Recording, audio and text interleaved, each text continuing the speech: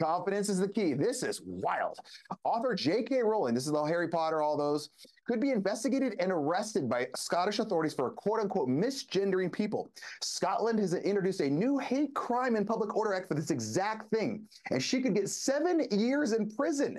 So basically, if a guy says he's a girl and she still says, hey, that's a guy, she misgendered them uh, essentially.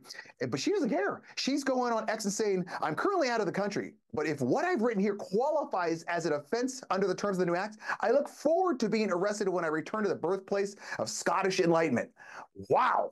You talk about confidence. JK is letting it rain. Will they actually arrest her? I don't know. But this this law is just absolutely insane. I, I hope it don't doesn't ever come to America. This is just, oh, just because I misgendered you. I mean, if I look at you and you're a dude, if you look at me and I say, okay, all of a sudden I'm a female, you and you say call me a dude i'm clearly not a female so this is i know what's happening here but jk good for you way to stand up